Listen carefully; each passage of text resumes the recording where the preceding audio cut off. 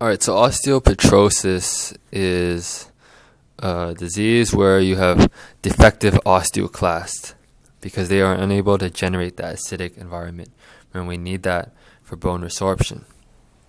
So you have poor bone resorption, so your bone is going to build up and it's going to be very dense, but it's going to be terrible architecture because you need that remodeling. Um, so it's just it's just so what you have is you have dense but brittle bones and these fracture easily. Clinical features of this disease include again easily fractured, so easy bone fractures. Um, you're going to get overgrowth of the bone into bone marrow. So what you're going to get is you're going to get pancytopenia. So pancytopenia means uh, all those blood products are low, so you have poor red blood cells, poor platelets, and poor white blood cell production. You're going to get extramedullary hematopoiesis. So remember, you normally make um, make blood in your bone marrow, but you can also make it in other parts of your body, such as the spleen, the liver, and lymph nodes. So you're going to start doing that, so enlargement of all those structures. Um, next, you can have cranial nerve impingements. Again, your skull and your very tight area. If you're gonna enlarge bones because um, super dense, super um, and your osteoclast can can't shave them down, you can get impingements of your cranial nerves, so you can get deficits there.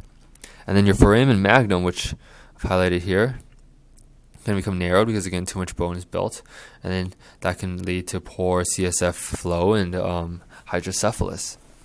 So the treatment here is um, bone marrow transplant. Because if you remember, remember what osteoclasts are derived from. Remember they come from monocyte and slash macrophage precursors. Remember both of those eat stuff up. So if you replace the bone marrow, you can actually get normal um, non-defective osteoclasts, and that will correct all the um, pathology. Next disease is rickets slash osteomalacia.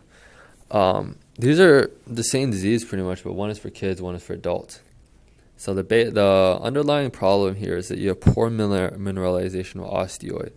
Remember um, osteoblast. Remember how that works for bone formation. Remember how osteoblast deposit osteoid, which is made up of type one collagen, gelatinous substance with type one collagen. And remember how that's mineralized. Remember you need calcium and phosphate. So if you have low vitamin D and thus low calcium and phosphate, you're gonna get soft bones because you're just gonna get osteoid and no mineralization, which makes it hard. Um, rickets is when you have low vitamin D in children, and osteomalacia is when you have low vitamin D in adults. And vitamin D is important to increase serum calcium and phosphate, and it does it in multiple ways. First way, intestinal absorption of calcium and phosphate. Second way, reabsorption of calcium and phosphate in the kidney and finally, um, your bones contain a lot of calcium and phosphate, so um, vitamin D can um, increase bone resorption to increase that calcium and phosphate. Now rickets. Uh, the reason why we divide osteomal, um, poor vitamin D into rickets and osteomalacia is because um, that there's a, the key difference is that rickets in children have um, they have open growth plates, adults have closed growth plates. So rickets will have open growth plates Patients will have bowed legs. As you can see here, that's called genu varum. You can have rachitic, rachitic ro rosary, and that's because this is enlargement of the costochondral junction. So this is cartilage by the sternum, and you have rib bones. You have a enlargement. These are deposits of osteoid because your your osteoblasts are dropping the osteoid, but it's not getting mineralized. So keep dropping and keep dropping. You get these um, basically rosary-looking things. Next, you're also going to get you can get frontal bossing and a soft skull. Again, it's soft because you have poor mineralization, and it's um, in a large forehead because you have again it's all that osteoid is getting deposited. Osteomalacia is pretty simple. Um, you have soft bones, uh, you have bone pain, and you have increased fracture risk because they're just weak and soft. Um, there's no mineralization. So that's it for our rickets and osteomalacia. Next is Paget's disease. The problem here is an overactive disordered bone remodeling. And the, and the important key word is that it's in localized parts of the body and especially the skull. We'll see why that's important. So first of all, you're going to start with the lytic phase with overactive osteoclast. So you're going to have increased breakdown. Then you're going to have a mixed phase with increased activity of both osteoclast and osteoblast. And then finally, you're going to have a high osteoblast activity only, so that's that's a sclerotic phase. So what what's going to happen is you have poor bone remodeling, so you have poor bone quality. Um, you're going to have thickened and deformed bone that fractures easily. And on biopsy, you're going to see a mosaic pattern of woven and lamellar bones. You're going to see both of those and be all mixed together, so mosaic pattern. So if you see mosaic pattern on biopsy, that's Paget's disease. The clinical features is going to be really related to this um, localized, this um, focus on the skull. Uh, first of all, you can have bone pain because of microfractures, because again, it's poor quality. Uh, if you're involvement in the skull, you can have uh, skull thickening, so your hat size is going to increase. Uh, you can have hearing loss because of auditory foramen narrowing.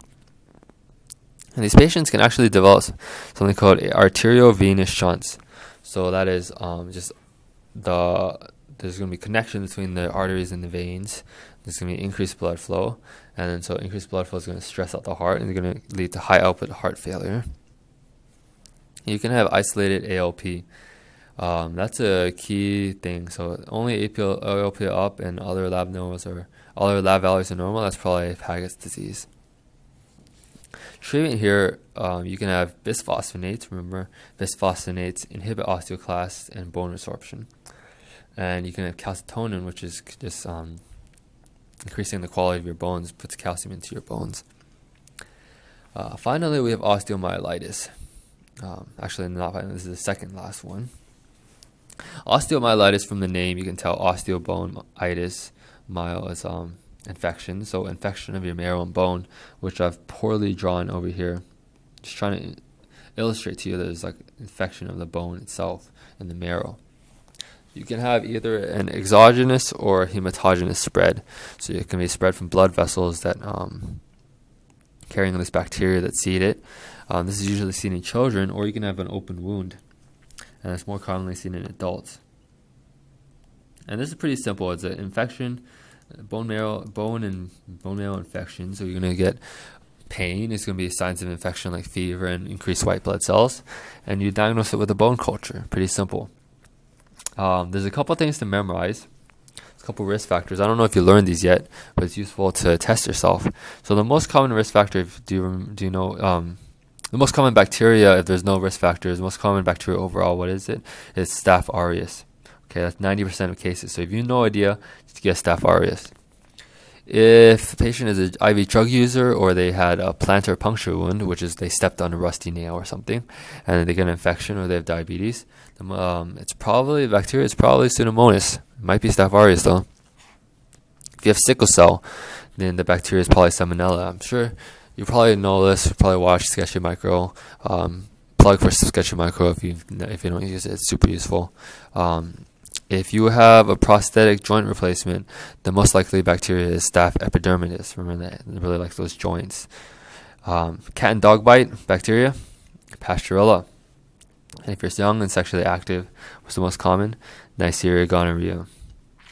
Okay, finally, osteonecrosis. So this is necrosis of the bone, and that's because of impaired blood supply, so ischemia, and the bone dies. The most common places can happen is the femoral head, which is um, the hip joint, and there's the medial circumflex artery, which I've drawn out here. So it's it's this thing right here, and it's it's a um, it's the lone artery perfusing a section of this of this femoral head. So this, if you lose perfusion here, you're gonna get necrosis of the femoral head. Um, it's avascular necrosis. So there's a lot of causes for this that you probably need to know. But again, it's just causes that can lead to poor blood perfusion. So the most common is thrombotic or embolic occlusion. Not um, just common cause. Um, that can be due to sickle cell disease, so cell sickle, and they occlude the, the artery. You can have decompression sickness. Um, that's because dissolved gases will come out of solution in your blood and they'll become bubbles and they will block everything up.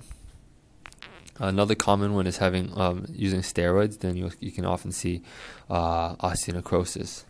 Other common ones include alcohol abuse and trauma and vasculitis. Um, very general clinical features of pain and on weight bearing and decreased range of motion. Finally, this is an overview of again you can probably stop watching here but this is very useful just to look over when you have time to study. We're going to review the pathophysiology and then um, lab values for each of these diseases. So do you remember pathophysiology for achondroplasia? Remember it's the fgfr3 mutation leading to impaired endochondral ossification. And remember that short limbs are uh, your limbs are affected so you get short limbs. Lab values completely normal osteogenesis imperfecta. What was the defect? Remember, it's defective type 1 collagen.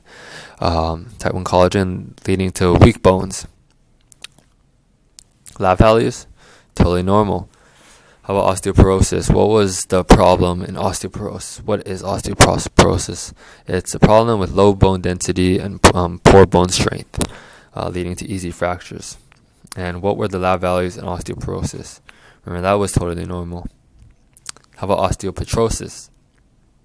Well, the problem here is, remember, it's a problem of defective osteoclast, so they're not working. Um, so now you get an overgrowth of bone, but they're super dense, but they're also super brittle, so easy fractures. Uh, what were the lab values here? Um, pretty much normal, but sometimes you, I mean, you can have maybe a slightly decreased calcium because remember, sometimes you need to resorb resorb bone to um, get some calcium in your blood, and if in osteopetrosis, all that calcium is getting mineralized into bone, so it's low in the serum. Now, osteomalacia and rickets, what's the problem here? Remember, it's a uh, low vitamin D, and vitamin D, uh, low vitamin D leading to poor mineralization of the osteoid, so you get soft bones. Um, what will be your lab values? Well, this one's pretty, you can deduce it all just by knowing low vitamin D. Uh, so your calcium, remember vitamin D, vitamin D um, increases calcium phosphate, so those are going to be low. How about ALP and PTH? Um, well, ALP, remember, remember what is that? Remember that's a marker of osteoblast activity. Um, and your osteoblasts are still working. They're dumping tons of osteoids. It's just not getting mineralized. And PTH, how would that work? Well, PTH responds to calcium. So if you have low calcium, PTH will respond appropriately by increasing to increase your calcium levels. So that's what's going to happen. Pagets disease. What is the problem in Pagets? Well, Pagets is a problem of overactive osteoclast and osteoblast. Remember that? It's, a, it's both. So you get a mosaic pattern, you get uh, super disordered remodeling. It's very poor quality. Um, what will calcium and phosphate levels be? They'll be normal. Um, how about alk phos? Well, alk phos, I thought that was a little tricky, but alk phos actually goes up because remember that alk phos is a marker of osteoblast activity. Uh, well, osteoblasts are definitely working extra hard. And osteoclasts also work hard. Remember, osteoblasts are needed to activate osteoclasts. So, um, so, so osteoblasts are activating osteoclasts, so you have increased alk. And your PTH will be normal because your calcium and your phosphate are normal. PTH pretty much responds to the calcium levels. Uh, primary hyperparathyroidism, I didn't really talk about, but you can have multiple causes. You can have the parathyroid being hyperplasia, you can have ad- adenoma, or you can have a carcinoma for cancer of the parathyroid. Um, what does parathyroid do? Remember, parathyroid increases your calcium and decreases your phosphate. So that's what you're going to see. What's going to happen with your ALP? Remember that parathyroid will act on osteoblasts. So remember, it act- activates osteoclast indirectly by activating on os- activating osteoblasts. So osteoblasts will be, work- will be more active. So you have increased ALP, and obviously PTH is high in hyperparathyroidism. Um, secondary hyperparathyroidism, the thing that happens here is that you have um, chronic kidney, usually it's chronic kidney disease leading to poor activation of vitamin D, um, and then you have poor uh, decreased phosphate excretion. So then your body your body will sense that you you have low calcium and, increased phosphate, and um, it's going to tell parathyroid, parathyroid hormone to increase. It's going to kick up that parathyroid hormone to correct that. So that's why you have hyper, you have increased parathyroid hormone, but that's because your calcium is too low and because your phosphate is too high, and that is because your kidneys are not working. So obviously, I just said calcium is going to be low, phosphate is going to be high. Um, what's the ALP going to be like? The same idea as primary. Um, parathyroid hormone is still going to activate your osteoblast to activate your osteoclast. So osteoblast, will be um, secreting more ALP, so that's increased, and then your parathyroid hormone is increased. So all of this you don't need to memorize. If you understand um, this, if you understand this, and you understand the pathophysiology, you don't have to memorize it. So that is it for all our bone disorders.